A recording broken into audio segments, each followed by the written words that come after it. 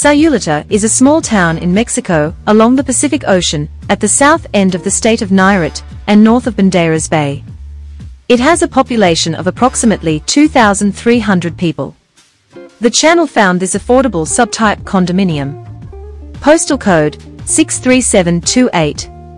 This pre-sale opportunity in Sayulita includes six units, one block from the beach, and two blocks from Centro, or the center of town.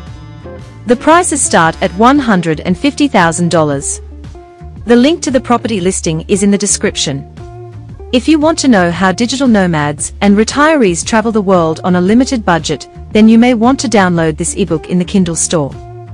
This ebook explains how digital nomads, retirees, and long-term travelers travel the world on less, much less. Most tourists visit Sayulita as a day trip, but this small town is much more than a day trip. There is a large, close-knit US expat community living in Sayulita year-round. Unfortunately, Sayulita is not cheap. Because there is a limited number of rentals, the locals have learned how to price monthly rates between $1,100 to $1,500 a month. American, Canadians, and Europeans pay this amount without issue. On the other side of the accommodation spectrum are affordable hostels for solo travelers and or couples. It does not matter what the locals in Sayulita earn each month.